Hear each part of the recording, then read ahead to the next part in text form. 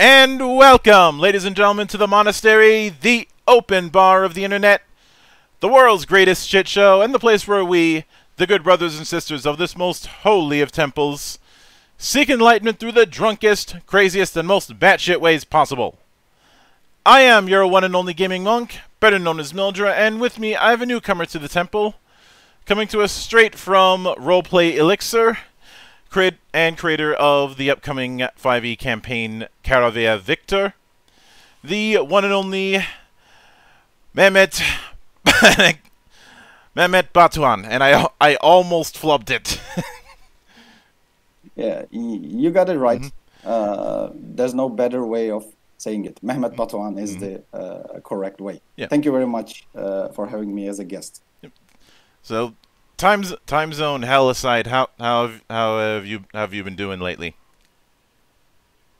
Um, I'm very fine, uh, thank you. Um, I'm living in Turkey, and uh, we have been in total lockdown for uh, like a month.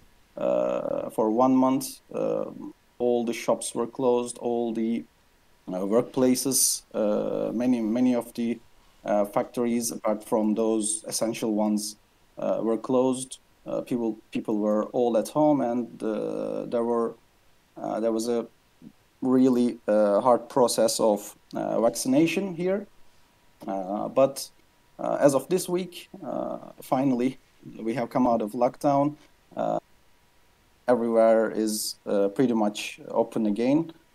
So yes, today and today, uh, nearly after uh, one and a half uh, year, uh, I was able to go to my local gaming store, my local hobby hobby store, and I I played a war game, miniature war game. Well, it was it was fascinating for me. It was awesome. I really missed it. I really missed to see my friends. I really missed to throw dice and play with my uh, miniatures. Uh, so yeah, I'm I'm really happy today. yeah. So I tend to I tend to focus early on on the well humble beginnings. So with that in mind, I'd like you to walk me through your first introduction to role playing games and what was it that made it stick. Okay uh, I met role playing game. I'm, I'm by the way 33 years old, and uh, I met role playing games in uh, while I was in high school.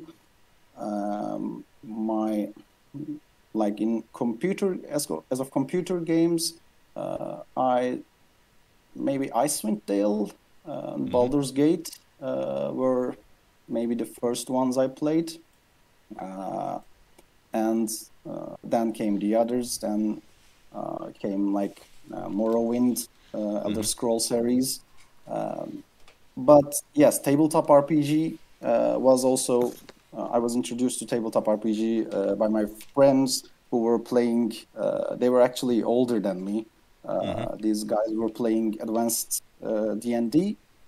Mm, um, we tried it a few times. Uh, at first years, I was just a player and uh, I was happy to play with them. But uh, then they graduated from the high school, and I was like the DM of my uh, gaming group, mm-hmm. Uh, of my friends.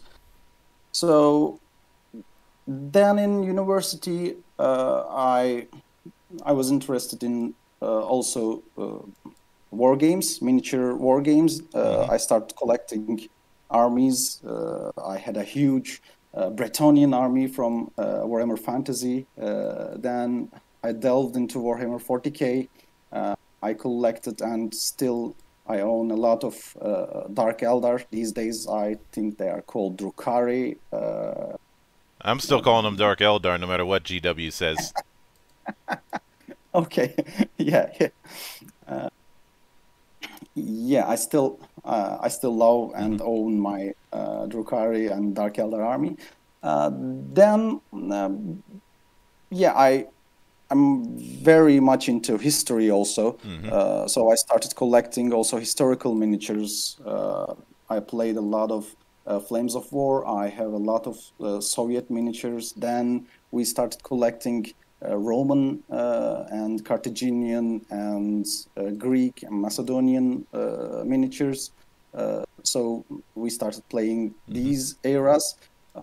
and at the same time, of course, I was always playing one tabletop RPG or another. I, for, yeah, D&D, it's maybe uh, the I I've been playing D and D uh, for a lot of times, but uh, also uh, I tried a lot of games from uh, all World of Darkness. Mm-hmm. you know, Hunter the Vigil being my favorite, and then Pathfinder, mm-hmm. and um, also some others. So it evolved like this, and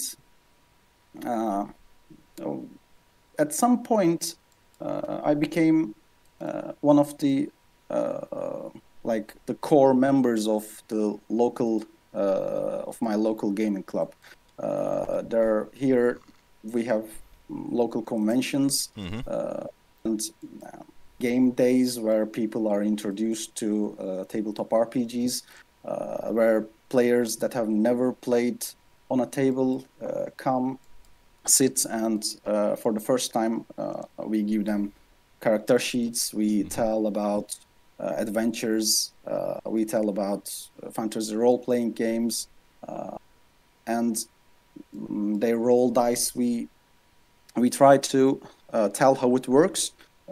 And yeah most of the time maybe they are they love what they see but after some time their interest fades away uh, but sometimes they join us and uh, it's very good to see. Mm-hmm. uh, yeah uh, i'm maybe going away from the uh, question but uh, yeah as time went on i became one of the core members of my local gaming club. I'm i'm made many friends there which still i play tabletop rpgs and that's pretty much how I started, and uh, uh, then got into the hobby more and more. Yeah. Now, that br- that brings me to Carovia Victor. Um, yes, Carovia Victor. What was um you mentioned now you mentioned that you you mentioned that you did have a bit of a bit of leaning towards being a historical buff. Um, but something I'm curious about was was was CV a pro a project that you that um developed from just your experiences at the at the table? Was this a campaign setting you're already running about and um in gr in um groups beforehand? Yeah, and um, as you said, uh, history was uh, always a great uh, point of interest for me. And um, in time, uh, we we started to think, uh, what what can we do uh, to maybe uh, play um, a tabletop RPG uh, that takes place in ancient Rome or ancient Greece, or or can we play a game where maybe like minotaurs uh, from a Greek island mm-hmm. uh, raid uh, a settlement uh, in Greece, and uh, heroes try to uh, heroes try to fight them, save the settlement, etc. So um, we were already homebrewing some rules and some um, ideas. we were homebrewing adventure sets and uh, like classes. Uh, we were trying to make subclasses for it, mm-hmm. Uh, and then it it just we, it was like after the COVID lockdowns were effective. yeah, we, we were we, we missed playing very much uh, and then we said yeah we, we should we should write them all down uh, we should write them in uh, a proper, uh, orderly manner, so mm-hmm. we can um, we can develop them we can present them to the people. and then a few of our friends told us, yeah, why don't you open it up on Kickstarter or uh, why don't you uh, tell people about what you do? And that's when things started to get serious. Uh, we uh, we published uh, very small adventures, uh, very small subclass options from mm-hmm. our personal pages, and then we said, yeah, this this is this is definitely a great thing to do. This uh, why didn't we do this earlier? This is what we want to do, uh, and maybe hopefully uh, we want this to become our full-time jobs uh, if if we can get it right. Uh, so that uh, that opened the way to roleplay elixir. Mm-hmm. at first, we were not very sure about uh, the, uh, the we, we, were not very sure about the Roman setting. We were uh, we wanted to do something historical, blend fantasy into history. That's mm-hmm. exactly what we wanted to do. Um, but then, as things progressed, we said uh, yes. Uh, we we uh, came to the conclusion that we needed to focus on the Roman side of things. that's what we uh, want to um, explore more because uh, like ancient Greece is uh, something already a little bit explored in the D&D. Um, mm-hmm. Many people have done some settings or homebrewed monsters or adventure sets that would reflect the uh, Greek uh, mythology mm-hmm. uh, and that brings Greek mythology to D and D. And we said, yeah, uh, the Roman side is a little bit missing, and um, maybe it's it's not very much uh, mythological, and it may not give us uh, many resources uh, as in the Greek uh, mythology. but the Roman history is um, actually very various and uh, in terms of battles and in terms of uh, struggles of the ancient world, uh, it gives us a great uh, a great potential uh, to develop it. Mm. so then, after a few adventures, after a few, like I said, subclasses, all all inspired from mythology, we then turned to uh, explore more uh, Rome, and that was the beginning of our Carovia Victoria adventure. Now, something that I do something that I do find interesting because I do recall that there was a that there was a um that there was a Rome themed um 5e campaign setting that came that came out well, well it's not out yet but it but it was kick it was kickstarted about about a year ago. Um, but that one was trying to play things relatively straight, whereas you whereas you guys well, just on just on the cover alone, you have a bat you have a battlefield that involves a dragon and a giant centipede. yeah. um. So one thing I'm one thing I'm curious about is did did it start did it start out as you as you guys being relatively low key with with um with trying to bring Rome to 5e or were, or did you guys intend on going Gonzo from from the word go? Um, when when we first uh, thought of uh, blending uh, Rome into fantasy, um, uh, we we actually uh, thought about how to uh, how to do it properly. And um, yeah, we came to the conclusion that we need to we need to give a proper setting. We we can't just tell the people. Uh, yeah, there, there are some subclasses that we write, mm-hmm. like mm-hmm. we have written a gladiator subclass. Go use it in your games. How you use it or where you use it, um, I don't know. Just do what you want with it okay, that's that's a cool thing to say, maybe.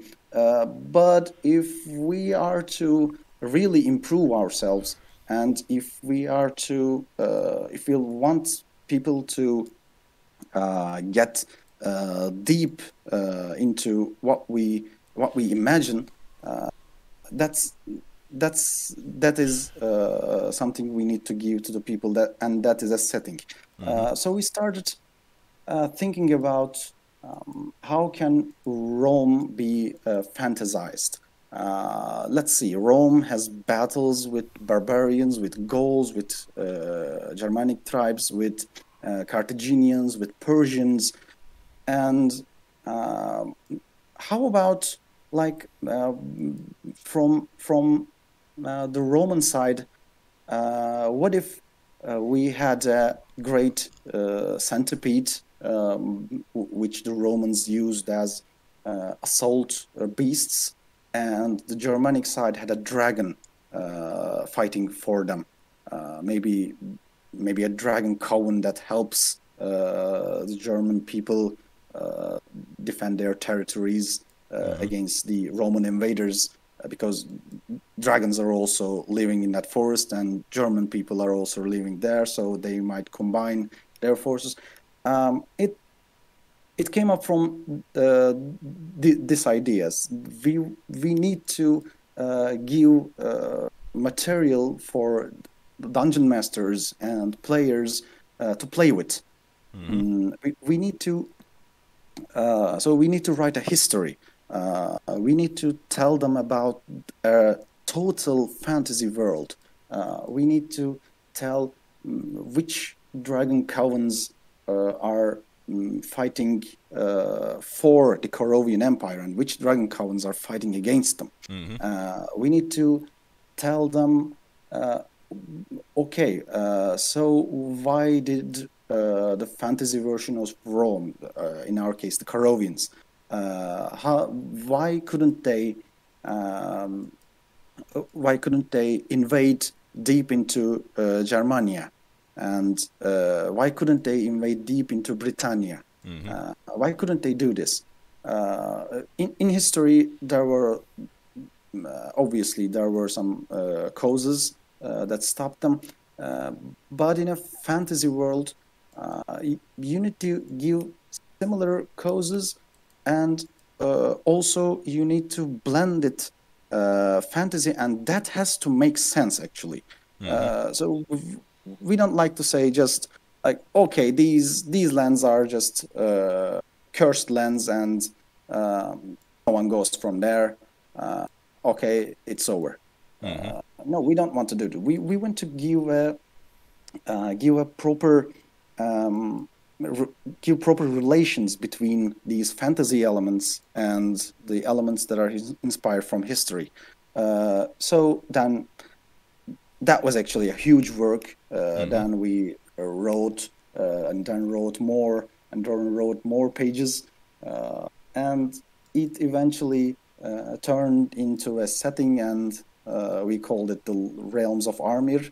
Mm-hmm. let's say, and uh, this this world is uh, has elements uh, of history and elements of fantasy, and we think it makes sense. of course, it's up to our uh, backers up to up to other people to mm-hmm. uh, see uh, if it if it really makes sense if these relations and these fantasy blend, blending um, but we we think uh, it's an okay. Uh, it's, it's it's okay uh, just uh, like that. So uh, we mm-hmm. we put uh, just a very s- small amount of that information in our demo booklet, mm-hmm. and people can write. People can read very generally about the history of these lands, what happened before uh, the Carovian Empire dominated their lands, uh, what came before them, um, which uh, which forces dominated the world before the times of the Carovians, and how did the Carovian Empire became its version. uh, of today. So, Mhm. uh, how did it evolve from a kingdom to a republic, and then from a republic to the empire? Uh, how did it happen? Uh, we just give a small uh, portion of it in our in our demo booklet uh, because uh, the editing of the uh, the editing of the longer version is not finished yet. hmm So uh, I hope uh, it answers your question. Yep. But I don't know. Are are you happy with it? yeah. Um.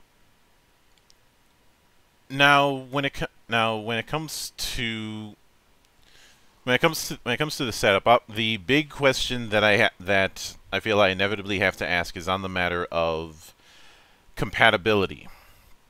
Um, Mhm. especially especially since this is still using the the 5e um, rule set. Mhm. Um, are there when it comes to when it comes to just the race class combinations in Mhm. in vanilla 5e are there any, are there any that you can think of that are pr- that would probably be a little bit trickier to justify than others or is it a, is it a case where you're trying to go human centric or is everything on the table Well, um, 5e was every time a little some some general rule set that you can uh, use uh, for uh, for any setting. Uh, from the beginning, it was just like it, just just that. It was the rules. Uh, yeah, they uh, Dungeons and Dragons gives us uh, some uh, proper races and some proper uh, character uh, builds, uh, some classes, but mm, it's it's more than that. There is there's just um, it's uh, you can play with it and you can create uh, new classes. You can create new combinations of uh, races, uh, and they've also uh, shown it at the uh, their latest book, like the, in Tasha's Cauldron of Everything. hmm Um, they they brought up many options for new races or even uh, just creating your own race. Uh, so, uh, from from my point of view, uh, no one has to uh, stick to the classical uh, build-up of uh, 5e. Not not in the not in the um, rules and mechanical terms. Uh, Yeah, they, they have to stay. Uh, they have to stay the same, uh, the same, of course, to uh, be able to properly play the game. But uh, the uh, character creation and the uh, races and all these are, yeah, can, can be can be homebrewed or they can be changed according to the setting. So we we are not very much giving uh, very new concepts Mhm. about the uh, race development, but uh, of course, uh, this is a human. Our our setting is a human-dominated world, hmm uh, and from here, uh, we said, yeah, we we need to give the players uh, some options to uh, bring the historical people uh, into their characters. Uh, so we need to uh, they they they need to create a, a Carovian uh, legionary, for example, or a, or a Germanic mercenary uh, that fights uh, in the empire, or a, or a Persian sorcerer. Uh, so how can we do this? Uh, and then we develop the idea of ethnicity uh, for human characters. Uh, one of our uh, major new concept is this ethnicity feature. So if you create a, of course it's optional. You don't want, you don't have to do this. You just, you can just make a human character as in the rule book, and say that he's Persian, and it's over. But if you want to uh, really have the feeling of this ethnicity, uh, we give new options to the players. So we say, um, uh, while character creation, creating a human character, uh, you can drop the uh, ability increase um, trait. Uh, you can uh, you don't take the uh, give plus one to your all abilities, and uh, we say um, if you do this, uh, your character then may choose an ethnicity. Uh, for example, uh, she can be uh, Germanic, uh, so uh, she can be one of the Germanic people, and this uh, gives uh, her specific um, traits uh, related to her uh, ethnicity. Uh, Maybe some, maybe some players will not like it, uh, but as I said, it, it's optional. Uh, they don't have to do this, but uh, I think that uh, if if a player really wants to enjoy the setting, uh, if a player really wants to um, experience the the feel of being like a Roman, uh, proud Roman soldier or a proud Carovian soldier in our setting, uh, she will go for our alternative build. Yeah. Now, within the within the set the setup that we ha- that is um that is present, um, like it it is it is very much doing a, doing a lot of the motifs that we that we would that we would see in um antiquity. Um, but the one of the big one of the big quest one of the big elephants in the room when try when essentially trying to do um Rome meets fa- meets fantasy is the magic question, for lack of a better term. and my qu- my query on th- my query on that is how pre- how um how prevalent is magic? Is it a case where the magic is it is it a case where most magic users are are I are um, isolated either either by either socially or um or by or by their own choice? Is it a case where um where magic where magic use is accepted to the point where there might be there might be full on magic users um, holding court um in i.e. i.e. might ha- i.e. having um, senators possi- possibly being magic users or or some kind of advisor or is it is it a case where you have um, where um, there's a matter of interpretation depending on which region in the setting you're you're discussing. Um, mm, something we tell about the setting is that um, magic here uh, is seen uh, very as a very dangerous and uh, a very uh, occult uh, uh, thing or profession to um, to work on. So think about it uh, in the in the real history uh, shamans um, or the real history, uh, the real historical uh, priests.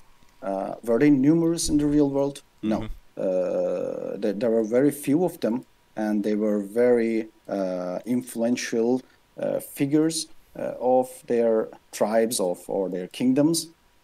Uh, but they were also never the rulers uh, of their uh, of their settlements of their nation, and that is exactly how the magic is handled in Carovia Victor and in our setting. Um, yes, there are magic users. There are a lot, there are a lot of magic users, uh, but people usually uh, either fear them uh, or, depending on their culture, uh, maybe even respect them. Um, but um, what is essential is that uh, they are um, they try to uh, keep this lore of uh, magic and uh, this secret their the, their secret knowledges to themselves so they don't very much share uh, what they practice or what they know about actual magic to other people. Uh, firstly it's because to uh, preserve their secrets to themselves and uh, second uh, to um, to gi- give this uh, impression of uh, privileged positions to themselves. Uh, so, in our setting, uh, it differs from place to place, but um, if we are to talk about the Carovian Empire, uh, the Carovian in the Carovian Empire there is a mages guild called we call it the uh, Consilium Magustrum. Mm-hmm. they deal with all things magical and uh, they have uh, licenses for magicians who are like licensed from the state uh, to properly uh, to properly work on magic. Uh, there are other rogue spellcasters and mages in the empire, and mm. as long as they don't threaten the people, or as long as they don't pose a real threat to anyone, no one bothers them. But the thing is, when, as an adventurer, when you or as a spellcaster, uh, if you're not a licensed spellcaster of the Consilium, uh, you are not welcome to the court of any uh, imperial official. Uh, so, mm, no governor or no magister, uh, no consul will uh, talk to you or listen to your demands or even care about it. Mm-hmm. But on the contrary, if, if you are from the Consilium, if you are a licensed mage of the Empire, uh, then yes, they will hear you. They will try to uh, understand uh, what you need, and uh, they will even help you uh, because because your license means you are working in favor of the of the empire. Mm-hmm. so you will not harm the empire in any way. You will not do anything harmful to the empire with your magic uh, like you will not raise an army of the dead and attack any imperial town. Uh, they are sure about this, and they're also sure that uh, in any case uh, there's an there's an invasion or there's a problem, uh, you will try to help the empire as best as you can. so they're okay with seeing you, with talking to you. of course, some of them may respect or some of them may fear you, but that's pretty much uh, what it's like in the Carovian Empire. Uh, in the Senate um, and among the nobility, uh, there there is a very uh, there, there's a great distinction between those who can practice magic and those who can't. Uh, and it's like uh, if you are a spellcaster, if you are a magician, um, or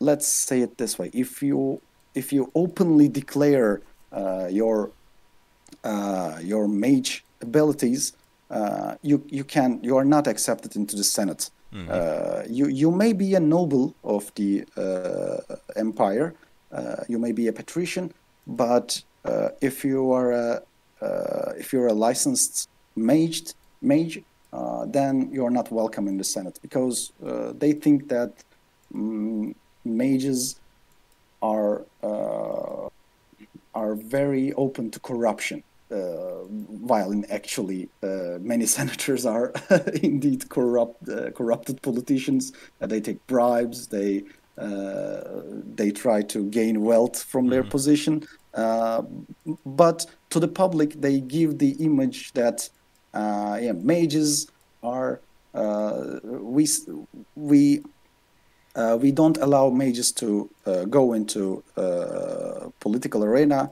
and so uh, uh, you many of the people uh, you don't practice magic, so we do. Mm-hmm. So also we don't practice practice magic, and our emperor or any senator doesn't practice magic, so we keep spellcasters and mages out of the senate. Mm-hmm that's uh, that's how it is. The, yeah, we, you, uh, I I hope you're trying to, uh, and our listeners are trying to understand uh, the the conflicts that we are trying to um, uh, put here. Mm-hmm. Uh, at, at, one side, this is this is what the senators declare, but in actually they they are already most of them, let's say, already very corrupted uh, and evil people who just try to squeeze people to pay more taxes and. Uh, oh, it's,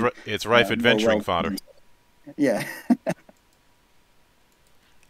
but when it co- when it comes now when it comes to spellcasting itself, um, are there are there are there any um, special rules regarding regarding that regarding magic use within the within the setting?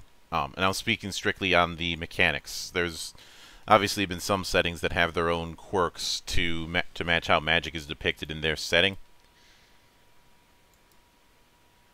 Uh, we will uh, we will not put any uh, any um, new mechanic uh, about uh, magic, Mhm.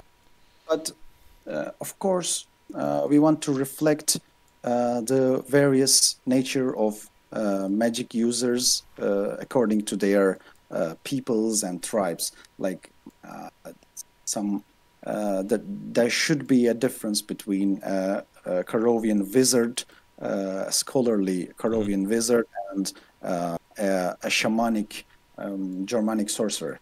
Uh, so we will try to. We did not have enough pages or enough um, enough time to talk about it in our demo booklet, but we will talk about it more uh, in our complete book on how uh, how how do they differ uh, mm-hmm. from one another? what are their different goals? Uh, which ways do they practice magic differently? Uh, uh, we didn't want to put a lot of content to the demo booklet and confuse people with many information. Uh, so that's why we didn't put it in the demo booklet, but uh, in the full book, uh, they will all be there.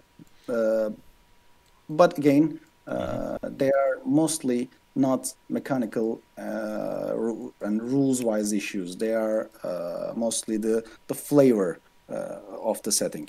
Mm-hmm. Now, with that kind of thing in mind, I would like to I would like to ask about the classes and subclasses you're putting in, and I will start with the brand new class that you're putting in, the Flamen. Yes. Um, uh, Flamen is actually uh, a, a, historical word uh, for priests of mm-hmm. Rome. Uh, so, uh, what we're trying to do with the Flamen is um, there is no representation of the uh, ancient Roman priest or an ancient Germanic shaman in um, in 5e. in 5e, yeah, we, yes, we have a, a a cleric class, uh, which is uh, which is pretty much the the warrior priest. Mm-hmm. Uh, uh let's say uh, the the typical uh, cleric wears heavy armor, takes a shield and a mace at her hand, and while she she casts healing spells to to her companions, and she also smashes the heads of the monsters with her mace. Uh, and this is just uh, way different than uh, we imagine uh, a, a, proper Carovian uh, priest uh, should be. so we want to give. So then, yes, we said first we talked about representing it as a new cleric domain, but then we said no, this should be a, a new class uh, where where our priest is not uh, armored at all. Uh, this is this priest does rituals uh, and gives actual sacrifices uh, to the gods and uh, takes her powers through these rituals and these sacrifices. just like the Romans did when, at the beginning of a battle, uh, they used to sacrifice like a bull uh, to give them to, for the Mars to give them strength. So uh, this is what our Flamen will do. She will not fight from the front line just like a cleric. She will um, she will do rituals and she will sacrifice something to the gods uh, to grant her and her companions uh, blessings. Uh, this doesn't mean she's uh, she's not useful in battle, uh, but she stays mostly at the back and uh, she tries to uh, how to say maybe buff her uh, companions uh, according to her uh, ble- the blessings she received before. Uh, so that's that's very different than the classical uh, cleric. Uh, of course, uh, during our playtests, we um, we talked to our um, playtesters about it, and uh, one of the very interesting um, points they uh, one playtester made was that, uh, but with the cleric I can also do that. Uh, she said, uh, "I yeah, my cleric can wear heavy armor, but uh, I may choose not to wear any armor, and I may choose to stay on the on a sup- more supportive role." Uh, rather than staying on the front line. And uh, I can I can already do this with the cleric. Thi- This is this is an okay approach, but uh, when you do this, you you are not using the full potential of cleric. Uh, so that's that's something that uh, she chooses to make. Uh, that's not the classical uh, cleric role. Uh, so we said uh, we definitely need to give uh, something uh, new, some new class rather than cleric to uh, represent uh, our uh, Carovian priests. And um, also, uh, we are thinking about uh, the subclasses and the archetypes of this class as pantheons uh, rather than uh, domains, which are very uh, vague ideas, uh, uh, but actual pantheons. So, uh, as a as a flamen, as a as our priest, you will um, you will devote yourself uh, to a pantheon, uh, let's say the Carovian pantheon. Uh, you will devote yourself to it, and uh, you take blessing from the Carovian gods. And you are not the servant of the uh, Germanic gods. Uh, so, uh, in the cleric, you you just choose a domain, like it's a uh, it's it's a light domain, and you uh, you choose uh, maybe maybe if you want to uh, if you want to you choose uh, the god of light or a goddess of light. And and the, and she gives you some powers but but actually this is uh, th- this is very uh, up to player. So uh, the domain um, the, uh, shapes everything and the domain is a very vague term. Uh, it's not explained enough uh, we think. Uh, so we need to make it more strict. So uh, if uh, uh, if a flamen from a, a persian uh, from a persian pantheon uh, will have very different uh, abilities and spells or spell-like abilities, uh, sacred prayers and rituals uh, than a flamen of the uh, uh, of the Hellenic pantheon. All right. Now, the the as a fur, as a further um, setup, would I'm I'm guessing that the three subclasses that it that it has are the high gods, the old gods, and the chaos gods. Yes. Um, mechanically mechanically speaking, um, what would what would e- what would each of those archetypes add to the proverbial sandbox? Uh, we we think of high gods as uh, being the the, the gods uh, that uh, that favor the order uh, and civilization uh, in general. So, um, like Ka- Carovian gods and Hellenic gods are uh, part of these uh, high gods, uh, and it's it's just a uh, it's just a nomination. Like uh, many people don't even call them high gods, but it's our nomination that we call them because the Carovians call them high gods, mm-hmm. and uh, so uh, we call them high gods, and uh, they they represent the order and the uh, they they are very much favoring battles that are made uh, to defend this order and uh, this civilization. So uh, the, a flamen of the high gods is like a, a bastion of justice, law, mm. and the ideals of bravery. about the old gods, we we are uh, we are putting the uh, mm, the Gallic and uh, more tribal uh, pantheons and more tribal gods uh, into their category. Uh, the old gods are uh, are favoring a way of life that is harnessed with nature. Mm-hmm. so don't don't make uh, great walls around your cities. Uh, be one with nature. Uh, but they, of, they are, of course, they are not the druidic type.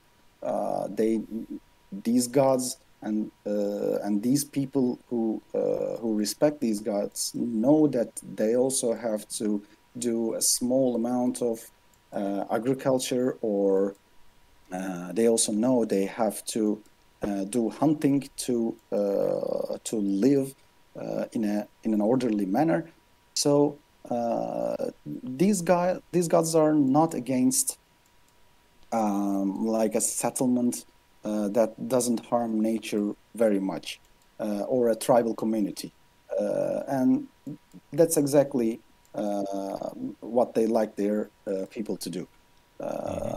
So uh, these uh, the flamens of this these uh, old gods and their pantheons uh, they are mostly the ones who uh, who help uh, people grow their grains who help hunters find their find their animals who help the people to uh, herd their animals and uh, they, and when in times of war they are also uh, the ones who can uh, who can give uh, the battle abilities of uh, these things uh, to their to their companions so so they can like give the give arrows that will hit very well mm-hmm. or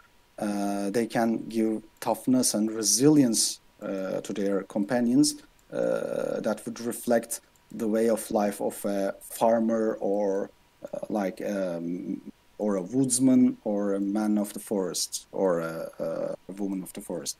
Mm-hmm. And uh, lastly, the chaos gods. These they are how to say they are both destructive and creative uh, at the same time. Uh, they represent uh, both the forces of the apocalypse and the forces of the creation. these these guys just don't very much care about uh, how people uh, how, how, people worship them because they are very essential uh, to the cosmic forces so they are not interested uh, with people's prayers or worships. But uh, if they if they find someone worthy uh, of their interest, of their um, of their choosing, uh, then uh, they send their blessings uh, to this person to become their flamen, and then this flamen of the chaos gods can reign destruction upon uh, her enemies mm-hmm. and also uh, can create wonders, uh, giving the uh, given the given the creative side uh, of these gods.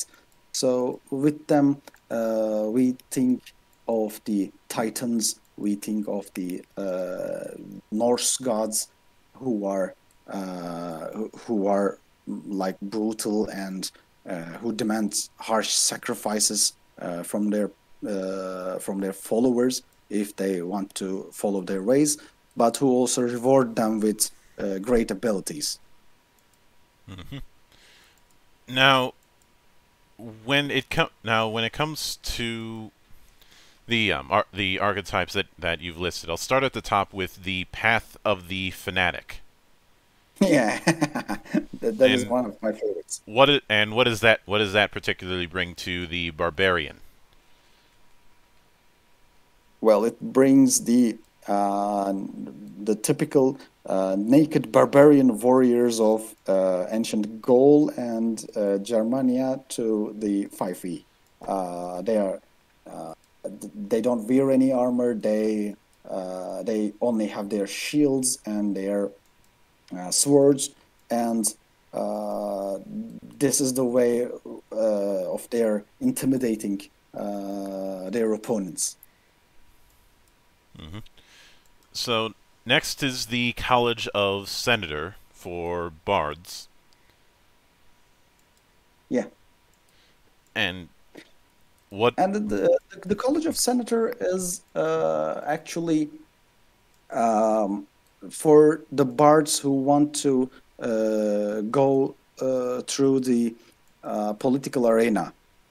So they will be able to give very good speeches to the public, and instead of just instead of just charming one person, they will be able to um, like uh, ignite maybe both fear and also courage, uh, depending on what they want. Uh, wi- within a crowd, uh, the one-on-one relations are not very much uh, their specialization. They are they are uh, they are politicals, All right. politicians. Now next is the passion domain for clerics. Yeah. Uh, think about the orgy parties of the uh, Roman era, uh, where like slaves and uh, the citizens they all uh, had sex, uh, they all enjoyed wine and drugs, and then they they thought this would this this would um, calm their souls. Uh, and our passion domain cleric is uh, just this uh, a cleric uh, that is trying to uh, that is trying to heighten the uh, the very raw um, the, the very raw emotions and passions uh, within someone uh, and uh, bu- buffing her allies in this manner. Um, next, the Circle of Elder Trees for druids.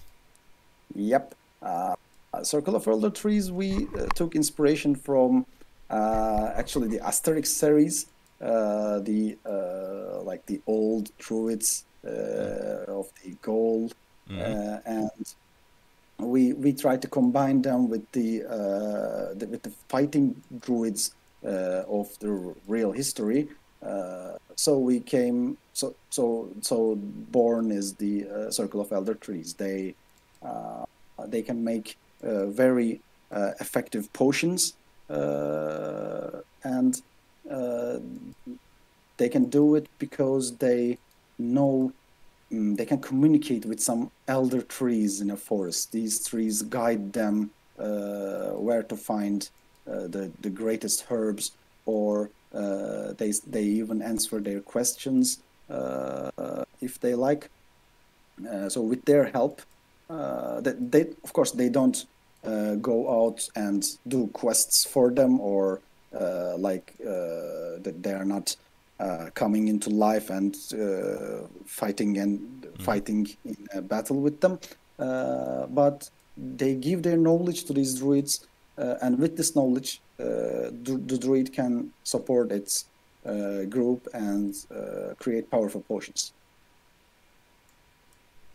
Yeah. Now, and the la- the last one, uh, sorry. Well, I, I was going to say last one, but that's not the case. Next, the um, Gladiator, which I I have my guesses, and it's not the first time that someone's tried to adapt the Gladiator and into the, into into um, fantasy gaming. Right. So I'm curious Yeah. as to your particular take. Yeah, our gladiator is the actual gladiator that fought that fought in the uh, arena of uh, the Roman Empire, and in our case, the Carovian Empire. Um, yes, as you said, the gladiators uh, are very much represented in uh, games, and they're f- like uh, from a historical point of view, they're uh, falsely represented, and uh, in the in the films or movies uh, also uh, or uh, other other media, uh, they're also fal- mostly falsely uh, represented uh, in a in an mm, unhistorical way. Uh, we mostly see gladiators fighting for their lives, like uh, like in the movie Gladiator. We uh, we see Russell Crowe uh, ki- killing like five gladiators in a fight. Uh, no, that, that oh, oh man, that is that is so incorrect. Uh, gladiators were mostly uh, like the, the the pop stars or the football stars of our age, soccer stars of our age. Uh, they they were fighting in the arena to cheer the crowd. Uh, their of course their fights were tough, uh, but m- most of the time no gladiator died in those fights because uh, losing a gladiator means uh, losing profit for uh, the one who owns the, the businessman uh, who owns the gladiator. Uh, so uh, we- wanted to represent this. We we don't want a, uh, a subclass that gives uh, an already uh, an already effective fighter to become more effective at like fighting uh, and slaying monsters, etc. No, we we wanted to represent uh, the qualities that uh, this fighter requires uh, during its uh, gladiator games and. Um, one of the key features is our distinction of gladiator types. Uh, when you choose the size archetype, you uh, choose different uh, types uh, of gladiator. Uh, are you a Murmillo? Uh, are you using a sword and a shield uh, and sticking to this type of fighting? Or are you a Retiarius? Uh, uh, are you fighting with your net and a trident? Uh, some uh, some very uh, typical uh, types of gladiators. Uh, and uh, through this, uh, you distinct yourself. Uh, you say that I'm a glad- gladiator and I'm a Murmillo. Uh, So I'm not just uh, uh, Russell Crowe gladiator who kills uh, who kills dozens of uh, gladiators in the arena. I'm uh, I'm I'm doing it as a sport, uh, but I also uh, can slay. Of course, I can also slay monsters uh, in adventures. Yeah. Um, because obvious, obviously, somebody who's somebody who's um, who's who's had to who's had to who's had to fight with these kind of weapons and not a whole lot in the way of armor a lot of the time, um, is is um. Is either is either gonna toughen up at it, or is it, or is just or is just not good, or is just um gonna get thrown out of a stable because he's not making any money. Uh, actually, um, gladiators who are famous and who are successful, and by successful, I don't mean uh, winning many fights. I mean entertaining the crowd uh, a lot uh, with their moves, with their uh, dashing styles, uh, with their manners uh, and their charisma. Uh, uh, actually, the, these types of gladiators can earn a lot of money.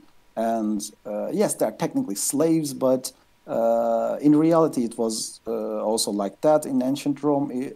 If a gladiator is uh, famous, uh, it's like uh, it's like he's a uh, he's a rock star. He can do whatever he uh, he or she likes uh, outside of the games. Uh, some did uh, delve into uh, like criminal activities, uh, or others uh, others served as guards to local governors, uh, and that's exactly uh, what our gladiator uh, can do. Uh, yes, uh, the gladiator, our gladiator uh, learned fighting in the arena, uh, but outside of the arena, uh, she can do what she wishes. Yeah. Um. And of course, of course, the now, given given the others, I, I don't want to go. Th- I don't want to go through all, all of them. Otherwise, we, otherwise we'd be here all day. But there is one. There is one. Um. Uh, there is one other thing I do. I do want to focus on, and that is the introduction of this faction system.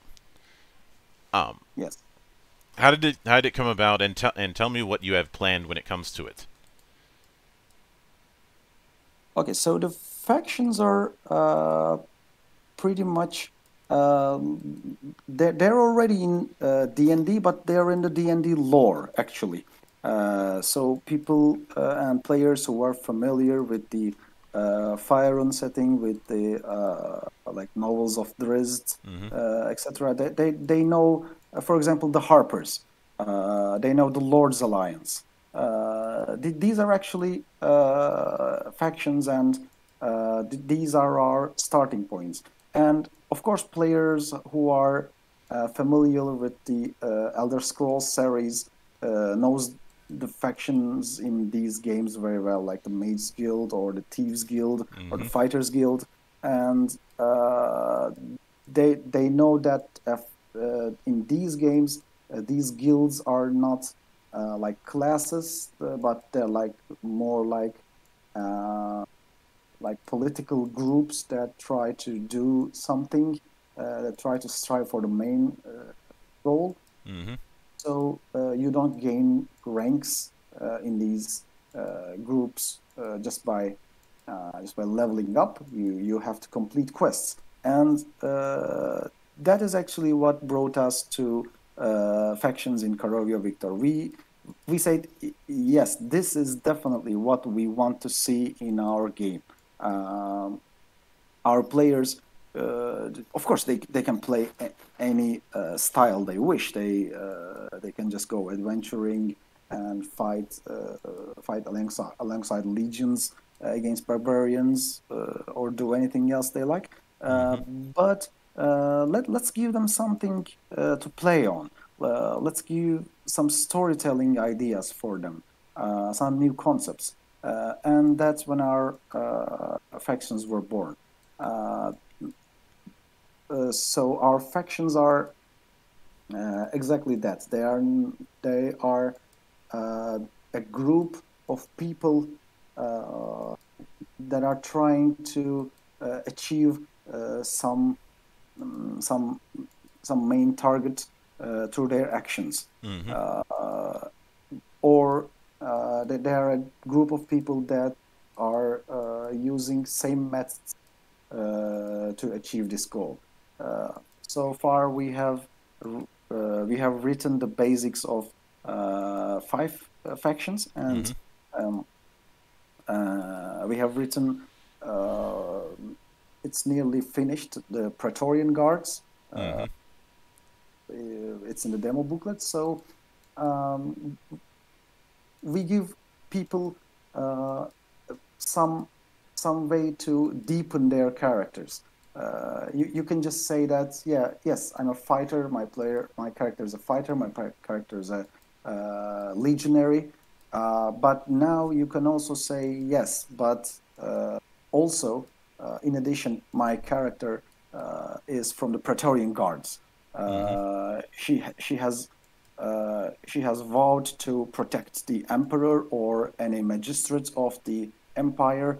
Uh, so she she defends uh, the imperial goals uh, wherever she goes, and uh, she she is now uh, a devoted uh, an elite trooper of the Carovian empires. Mhm. So, um, so she can also take quests from the uh, leaders of the faction or uh, or other officers of the faction.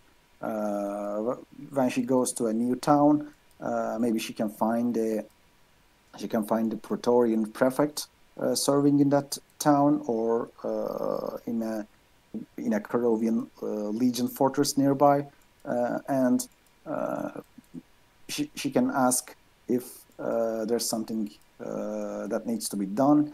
Uh, she may take quests, and the uh, stories may continue uh, from the, this point. Mhm. Uh, it, it it will also give uh, storytellers and dungeon masters mm, many new options.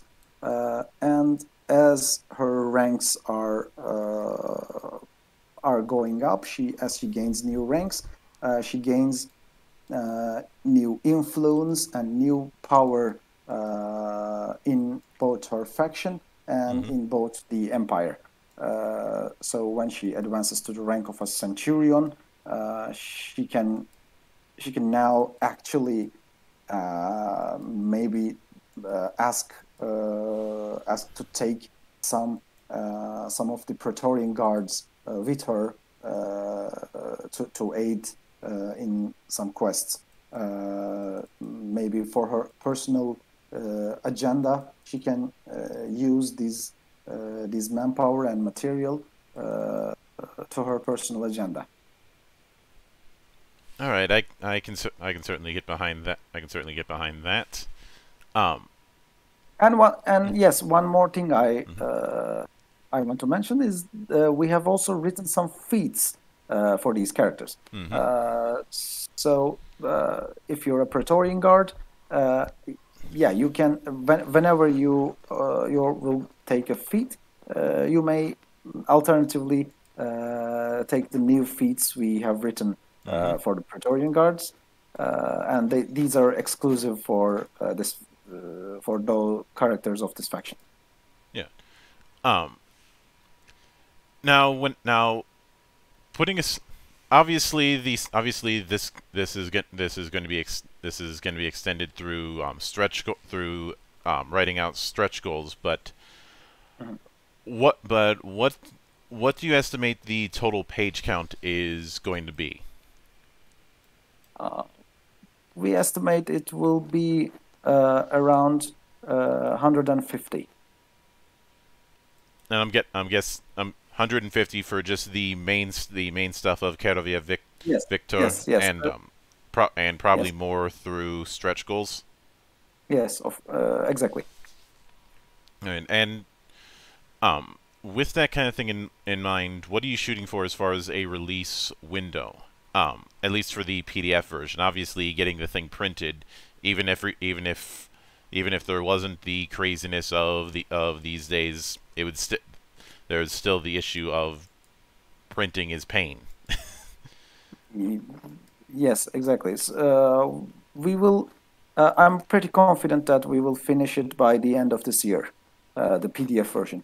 hmm uh, and we will do our best to uh, do it sooner uh, and uh, very soon uh, we will we will just print it and send it to our uh, backers. All right.